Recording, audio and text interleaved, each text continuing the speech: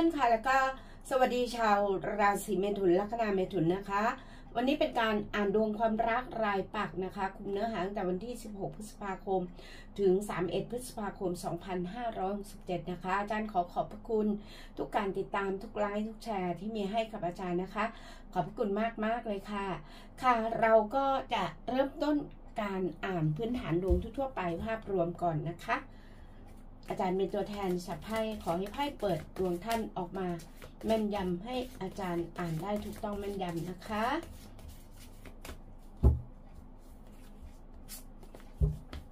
พลังงานไพ่ใบที่หนึ่งของชาวเมถุนค่ะ ท่านได้ไพ่ two of cup นะคะ พลังงานแห่งเขาเรียกแห่งความรักก็ได้ ถ้าเป็นความรักก็แปลว่าความรักท่านจะเข้าใจกัน บอกรักกันก็ได้ หรือแปลว่าการเซ็นสัญญา อะไรต่างๆ เกิดขึ้นในพันธสัญญาก็ได้ด้วยนะมีโอกาสจะเป็นเรื่องงานก็ค่อนข้างสูงราคาไพ่ขยายเป็นเจ็ดไม้นะคะจะมีการเซ็นสัญญาเรื่องงานนะคะหมายเลขสองขึ้นสองเหรียญแล้วก็สองถ้วยเนี่ยจะได้รับข้อเสนอดีๆ ในเรื่องของงานนะคะะสิ่งที่ท่านรอคอยอยู่เนี่ยนะคะเรื่องของงานเนี่ย จะได้อย่างแน่นอน ใครรองานได้งานทำนะคะ ใครรอโปรเจกต์นี้ว่าจะมีการต่อสัญญากันอีกไหมกับโปรเจกต์ที่จบลงไปจะได้รับโอกาสนี้อีกครั้งไหมได้รับแน่นอนค่ะ ถ้าเป็นเรื่องงานนะคะ เพราะเขาเชื่อในความสามารถเชื่อในผลงานของท่านท่านยังได้ไปต่ออย่างแน่นอนค่ะนะคะ กรณีทำ งานธุรกิจส่วนตัวนะ ถ้าท่านไปประมูลงานหรืออจะดีลงานกับอองค์กรไหนก็ตามแหละ ท่านจะได้รับเลือกอย่างแน่นอน เพราะมีไพ่เดอะซันด้วย แต่ถ้าท่านทำงานตรงนี้อยู่แล้วมันกำลังหมดสัญญาเนี่ยนะกำลังจบจ็อบนี้ท่านก็ไม่แน่ใจว่าเขายังจ้างต่อหรือเปล่าเนี่ยต่อแน่นอนนะคะ หรือบางท่านถ้าทำงานกรณีเป็นพนักงานในองค์กรเนี่ยท่านก็ยังมีโอกาสถูกโปรโมทนะคะ อัศวินเหรียญนนะคะ อยู่ในตำแหน่งผู้หลักผู้ใหญ่ด้วยนะ ได้รับการสนับสนุนไพ่ตำแหน่งสรุปเป็นอัศวินไม้แล้วก็ราชาไม้มีโอกาสเลื่อนขั้นปรับตำแหน่งมีเดอะซันมีราชาไม้นะ ในเรื่องงานโดดเด่นจริง ๆ ค่ะ ไม่ว่าจะเป็นธุรกิจส่วนตัวหรืองานประจำท่านก็ได้โอกาสนั้นนะคะเอ่อแล้วก็ยังแปลถึงเรื่องของการศึกษาเล่าเรียนก็ได้นะคะไพ่อย่างเงี้ย อยู่ตำแหน่งปัญหาแปลว่าบางท่านมีเกณฑ์ไปเรียนต่อต่างประเทศ มีเกณฑ์ไปสอบชิงทุนก็ได้นะคะ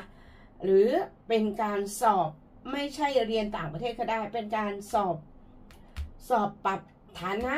ของขั้นหรือเงินเดือนอะไรอย่างเงี้ยสอบแบบเขาเรียกว่าอะไรเลื่อนอ่าเลื่อนตำแหน่งก็แล้วกันนะคะเนี่ยท่านได้นะคะเพราะมีไพ่เดอะซันหรือมีการ แข่งขันอะไรอยู่ก็แล้วแต่ในเรื่องของงานหรือเรื่องของการเรียน ท่านก็จะได้รับโอกาสนั้น เพราะท่านอยู่เหนือคู่แข่งค่ะเจ็ดไม้ค่ะ ส่วนถ้าเป็นเรื่องของความรักนะ อาจจะมีเรื่องไม่เข้าใจกันบ้างนะคะไพ่สี่ดาบกับ The Hermit ต่างคนต่างเฉยเมยต่อกันเกี่ยงอยู่นั่นแหละเธอง้อก่อนฉันไม่ง้อคุณหรอกอะไรก็ว่าไปแต่ในที่สุดแล้วอาจารย์มองตำแหน่งความรักตำแหน่งคู่รักเนี่ย เป็นไพ่ The Sun นะแล้วก็ขยายด้วย Page Pentacle นะคนเนี้ยเขาจะส่งข่าวแล้วง้อคุณก่อนแน่นอน คุณก็นั่งของคุณนิ่งๆอย่างเงี้ยนะคะคนคนนี้เขาเข้าหาคุณเอง ปรับความเข้าใจกันได้อย่างแน่นอนนะคะถ้าเป็นเรื่องของความรักนะ ก็ก็มองว่าดีภาพรวมถือว่าดีนะคะ โอเคเรามาเปิดต่อด้วยเรื่องของความรักสำหรับคนมีคู่นะคะ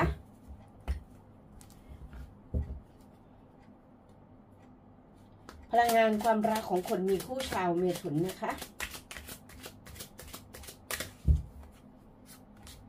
คนมีคู่ท่านได้ไพ่อะไร ท่านได้ไพ่วิว The Wheel of Fortune นะคะอีกใบค่ะ ท่านได้ไพ่ห้าดาบ ไพ่เดอะชาริออตอาจารย์ขออีกสองใบเลยเดี๋ยวอ่านทีเดียวนะเก้าเหรียญ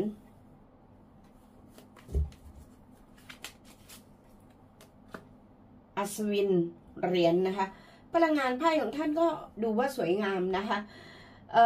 ในแง่ของความรักนะตอนนี้นะคะท่านอาจจะเครียดกังวลอยู่บ้างแหละนะคะแต่ท่านก็สามารถที่จะ balance นะการยืนอยู่บนสูงสุดของภาชนะชิ้นนี้หรือเขาจะเรียกว่าอะไรมันเป็นรูปเหรียญนะนะทรงกลมนะคะการต่อตัวขึ้นไปสูงๆแต่ท่านก็สามารถ balance หรือ ทำให้ตัวเองไม่หล่นลงมาได้ แม้กระทั่งจะยืนขาเดียวก็ตามนะคะถ้างั้นถามว่าเรื่องของความรักมีเกณฑ์ที่จะเหมือนกับมีความเสี่ยงในเรื่องของความไม่เข้าใจกันนู่นนี่นั่นไหมมีค่ะ มีเรื่องที่จะท่านก็เป็นตัวของตัวเองส่วนเขาก็อาจจะมองว่าเขาก็เครียด เพราะเขาพยายามที่จะเหมือนเข้าหาท่านหรือพูดอะไรหลาย ๆ อย่าง แต่ท่านอาจจะไม่ค่อยจะเข้าใจกันก็ได้ หรืออาจจะเป็นเรื่องที่เขาเรียกว่า อาจจะต้องห่างกันนะไพ่ชาลีออตเนี่ยท่านอาจจะไปดูงานต่างประเทศไปทำงานต่างประเทศ หรือไปดูงานต่างจังหวัดสักพัก อาจจะเป็นท่านหรือเขาก็ได้ จะเป็นเรื่องของการห่างๆกัน ก็จะมีความแบบหวาดระแวงบ้างนะคะ แต่ก็ยังปล่อยให้ไปอยู่ดีแหละค่ะไพ่เก้าเหรียญและอัศวินเหรียญนะคะก็คือไม่ได้แปลว่าจะยื้อในเมื่ออีกฝ่ายไปเพราะภารกิจนะ ไปในเรื่องของงานเรื่องของเงินเรื่องของผลประโยชน์นะคะถึงแม้จะกังวลอยู่บ้างนะคะแต่มันก็ต้องปล่อยต้องเชื่อใจกันบ้างนะคะถ้าเรายังเก็บเรื่องเล็กๆน้อยๆมาเครียดมากังวลนะชาวเมถุนก็จะ อืมเขาเรียกว่าทำร้ายตัวเองในแง่ของความเครียดเนี่ยทำให้ปวดหัวไม่เกณฑ์ขึ้นอะไรอย่างนี้ได้นะอะต่อไปเรามาดูคนคนนั้นบ้าง เขาเป็นยังไงเขาคิดยังไงอยู่นะคะเขาก็ไม่ค่อยสบายใจนะเขาเป็นคนสุขุม เป็นคนที่ไม่พูดเยอะเนาะคนของท่าน หรือว่าเขาเป็นชาวธาตุลม ตุนกุมเมถุนก็ได้ขึ้นไพ่ราชาดาบนะเอ่อแล้วก็ราชินีเหรียญบางท่านก็เป็นชาวธาตุดินพฤษภกันมังกรก็ได้นะ เหมือนกับว่าตอนเนี้ยสถานการณ์เขาเนี่ย แน่นอนเขาแคร์ท่าน เขาเขานิ่งละเขาหยุดอยู่ที่ท่านแล้วเขาจะบอกงั้นเลยนะ จงเชื่อใจเขา เขาอยากให้ท่านเน่ยเชื่อใจเขา เขามีความไม่สบายใจที่ท่านไม่เชื่อใจเขานะคะ แล้วก็ไพ่แปดไม้เท้านะคะ ความสัมพันธ์ยังไงก็ต้องพัฒนา เห็นสายรุ้งลำแสงของแสงสีต่างที่สวยงามมากนะคะ เขาบอกเลยว่ามันไม่ได้หยุดอยู่ตรงนี้หรอก มันต้องพัฒนาและเติบโตนะคะ สี่ไม้เท้าเนี่ยอาจจะ ไปถึงมั่นหมายแต่งงานเฉลิมฉลองระหว่างเราสองคนเป็นภาพสองคนเต้นรำนะคะ ท่านจะมีความสุขกับเขาคนเนี้ยนะคะ เพราะว่าภาพคนสองคนเนาะเนี่ยดวงเขาแต่ก็ต้องอ่านไปถึงท่านว่าไพ่มันสัมพันธ์กันนะว่าคนคนเนี้ยเห็นไหมไพ่ judgment เขาเลือกท่านแล้วนะเขาเลือกท่านแล้ว และก็อยากมีความสุขกับท่านนี่คือตัวเขานะ อืมต่อไป มีอะไรเกิดขึ้นอีกนะคะ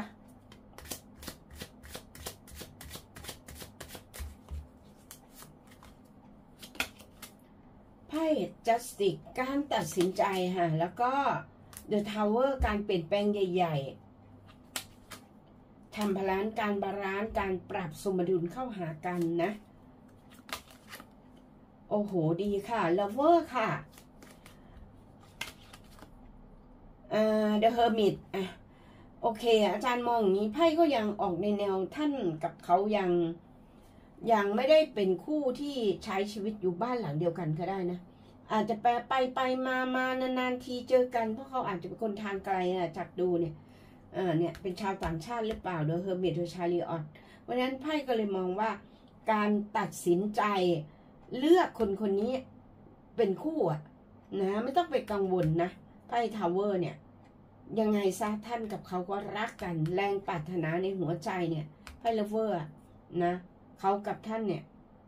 จิตใจตรงกันนะเพราะฉะนั้นไพ่ The Hermit แค่กังวลแค่คิดมากเฉยแต่ไม่ได้มีเรื่องถึงขั้น จะต้องเลิกกันไม่เห็นนะคะ โอเค ขอไพ่สรุปอีกครั้งค่ะ สรุปความสัมพันธ์ของท่านกับคนคนนี้เป็นยังไงอีกไพ่ห้าเหรียญ ไพ่ราชาถ้วยนี่แหละอาจารย์มองว่า ท่านค่อนข้างเป็นคนคิดเยอะอะกังวลไปสักทุกเรื่องก็ได้ อืมนะคะราชาถ้วย ราชินีไม้เขาก็อยากให้ท่านเชื่อใจว่าเขาเห็นท่านสำคัญที่สุดแล้วเออเขานิ่งแล้วเขาหยุดแล้วอะไรอย่างเงี้ยไม่ต้องแบบเหมือนกับจะเอาคำตอบอะไรอืมกับเขามาก เพราะเขาเป็นคนที่ค่อนข้างแบบอีโก้สูงนะอ่าราชาไม้คือตอนแรกเขาจะเหมือน อ่อนโยนเหมือนพยายามประโลมปอบใจท่านหรือพูดนะ แต่ถ้าท่านไม่เชื่อ เขาจะเริ่มนิ่งนะ คนคนนี้นะ แต่เขายังรักท่านอยู่อย่างแน่นอนแหละ สรุปขอใบสุดท้ายค่ะ เนี่ยค่ะเขาก็ยังมีท่านอยู่ในอ้อมอกอ้อมใจอะสี่เหรียญไพ่กอดเงินเนี่ยตีว่ากอดท่านอยู่ตลอด ไม่ว่าจะไปที่ไหนก็ตาม ไม่ว่าเขาจะไปทำงานทางไกลห่างไกลจากท่าน แต่เขาก็ไม่มีวันที่จะ เอ่อเขาเรียกว่าลืมหรืออ่าไม่มีท่านในหัวใจอะ มันเป็นไปไม่ได้หรอกไพ่อะนะคะขึ้นอย่างเงี้ยเขารักท่านเสมอจงเชื่อในความรัก จงศรัทธาในกันและกันนะคะ แล้วความรักของท่านจะมั่นคงค่ะ ขอข้อความจากเขาผ่านไพ่ฮารุค่ะ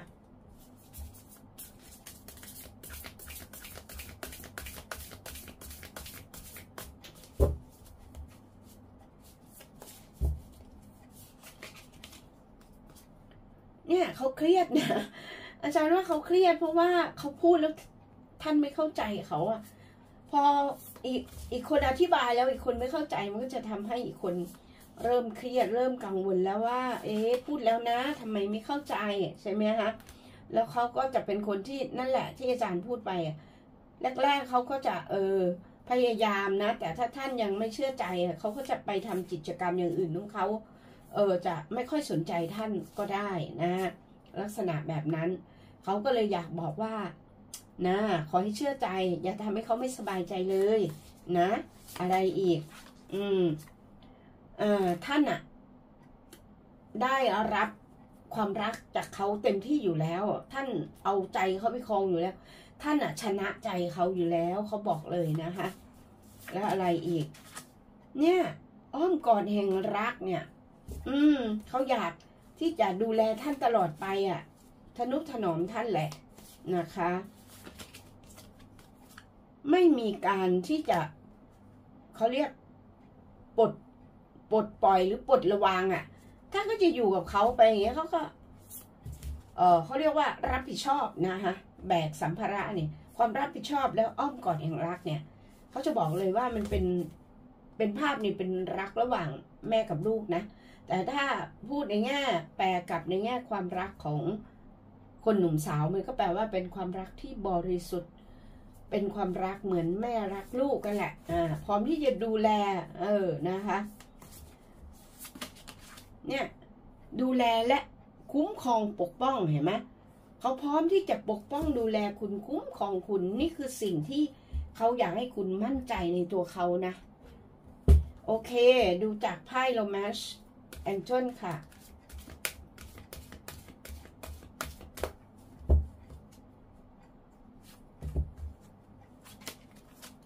เนี่ยอีกละไพ่เหมือนต้องการให้คุณศรัทธาและเชื่อในตัวเขานะ trust แปลว่าจงเชื่อ เขาเหมือนอาจจะจับมือคุณมาแตะที่หัวใจเขาเนี่ย ดูการเต้นของหัวใจเถอะเวลาอยู่ใกล้ชิดคุณน่ะ ผมยังมีความรู้สึกแบบมัน เออคือมันถ้ามีความรักต่อกันมันยังมีจังหวะของการเต้นหัวใจที่ผิดปกติได้นั่นแหละเขาอาจจะเหมือนในภาพนะอาจารย์แปลจากภาพอะเออจับหัวใจดูสิว่าผมยังรู้สึกยังไงกับคุณอะไรประมาณนั้น หรือฉันรู้สึกอย่างไรกับคุณก็จะเป็นอย่างนั้นอยู่นะคะ แล้วเขาก็ยังบอกว่า เออ ความรักของเรามันปลอดภัยอะเรายังเป็นคู่รักที่ที่ยังรักกัน ยังสามารถที่จะเหมือนยกระดับความสัมพันธ์กันไป ไปต่อกันได้ตลอดไปก็ได้นะคะ it's safe for you to love นะเขาบอกเลยรักนี้ยังปลอดภัยอยู่ เนี่ยเขามีแพชชั่นต่อคุณตลอด ไม่ได้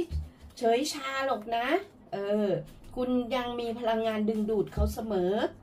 อืมนะคะ อาจารย์ขออีกเนี่ย เขายอมหยุดอยู่ที่คุณแล้ว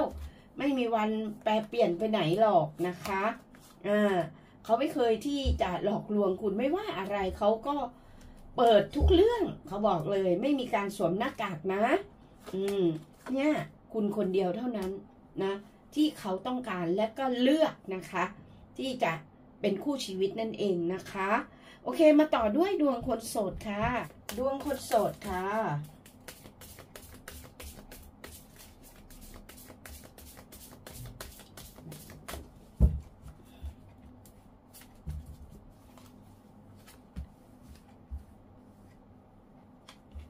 ไพ่ขึ้นอัศวินไม้นะคะ คนโสดมีความรู้สึก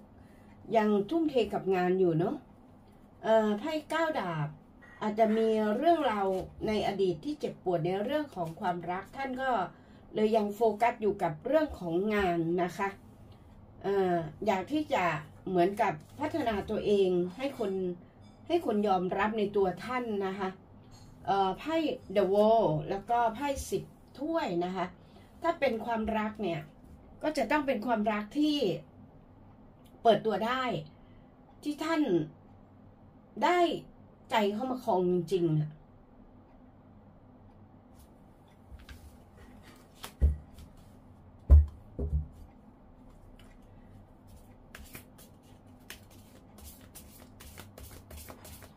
พลังงานดวงคนโสดค่ะ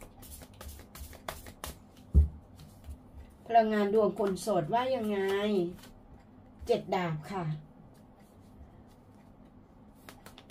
คนโสดไพ่ใบนี้จะบ่งบอกถึงการที่ไม่ค่อยไว้ใจอะไรง่ายๆแล้วนะคะสามดาบท่านอาจโอ้สามดาบห้าเหรียญอดีตนี่เจ็บปวดมากนะ ถูกแทงข้างหลังถูกหักหลังถูกทรยศ อืม มันยังฝังใจอยู่เลยอะ่ะ แต่คนนั้นก็คนในอดีตก็ไม่ได้มีอิทธิพลกับท่านแล้วล่ะ นะคะตอนนี้ท่านก็ทุ่มเทกับการงานแหละ เพียงแค่รักคนยาก ท่านจะไม่ไว้วางใจใครง่ายนั่นเองนะคะมาดูปักนี้จะมีใครเข้ามาแล้วทำให้ท่านยอมที่จะเปิดใจบ้างไหม มีความรู้สึกว่า ท่านอยากที่จะศึกษากับคนนั้นบ้างไหมนะคะ เพราะจากอดีตคือเจ็บปวด ตอนนี้ก็ทุ่มเทกับงาน อืมอ โอ้ไพ่ขึ้นสิบถ้วยนะ นะ มีคนเข้ามาแล้วล่ะค่ะ มีคนเข้ามาแล้วท่านก็รู้สึกชอบพึงพอใจ มีความรู้สึกว่าเออคนคนนี้ดูน่าเชื่อถือนะคะไพ่ราชาเหรียญโปรไฟล์ดีเนาะมีตำแหน่งหน้าที่การงานดีและมีฐานะก็ได้คนที่จะเข้ามา อาจจะเป็นชาวธาตุดินผู้ศกันมังกรก็ได้นะคะ หรือเป็นชาวธาตุลมดุลกุมเมถุนก็ได้นะ แต่คนนี้เข้ามาดูบุคลิกดี น่าเชื่อถือแล้วก็เป็นคนดูแล้วเออไม่หล่อแหละมีความเชื่อมั่นในตัวเองสูงทำอะไรทำจริงเป็นคนจริงจังกับงานนะคะ มีความรับผิดชอบ คนที่จะเข้ามานะ ที่จะทำให้หัวใจท่านหวั่นไหวล่ะคะแปดไม้ มีความรู้สึกอยากเปิดใจอยากพัฒนากับเขาค่ะ อยากครอบครองอะ อยากได้หัวใจเขา อืมนะคะความคิดเปลี่ยนแล้วนะเนี่ย อาจจะเป็นชาวราศีสิงห์ก็ได้นะ เข้ามาขอไพ่สรุปอีกห้าใบค่ะ ตกลงแล้วท่านเปิดใจไหมหนึ่งไม้กำชัยชนะ การเริ่มต้นอะไรใหม่ๆ Emperor แต่ก็มีความเป็นตัวของตัวเองค่อนข้างสูงเหมือนกันนะคะมันใช้เวลาค่ะไพ่แบบนี้ หกไม้เท้าวิกตอรี่ชัยชนะแห่งความสำเร็จเจ็ดไม้ก็เหมือนที่บอกแหละท่านอดีตที่เจ็บปวดเพราะฉะนั้น หรือท่านอาจจะเห็นกลุ่มเพื่อนก็ได้อาจจะไม่ใช่ตัวท่านที่เจ็บปวดก็ได้นะ บางท่าน แต่เห็นคนข้างๆเพื่อนกลุ่มเพื่อนอ่าคนที่ผิดหวังท่านก็เลยค่อนข้างไม่ค่อยจะไว้ใจใครง่าย ไม่ค่อยจะเปิดใจกับใครง่าย ต่อให้ปลื้มต่อให้ชอบท่านก็ยังเก็บอาการนะคะ สุดท้ายแล้ว อ่า โอเคไพ่ judgment นะ เมื่อท่านพิจารณาไต่ตรองหรือเออศึกษากันดูสักพักเนี่ยอาจารย์มองว่าท่านจะอนุญาตให้คนคนนั้นเข้ามานั่งในหัวใจได้ อืม ไพ่บอกอย่างนั้นเลยนะคะ โอเคค่ะ อาจารย์ขอจบการพยากรณ์ไว้แค่นี้ เจอกันใหม่คลิปหน้าค่ะ สวัสดีค่ะ